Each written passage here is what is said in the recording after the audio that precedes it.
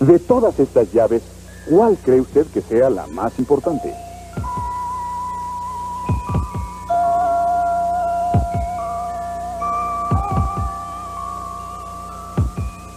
Hay varios tipos de llaves, muchas necesarias, otras, como la del agua, indispensables. Cuidado, gota a gota, el agua se agota.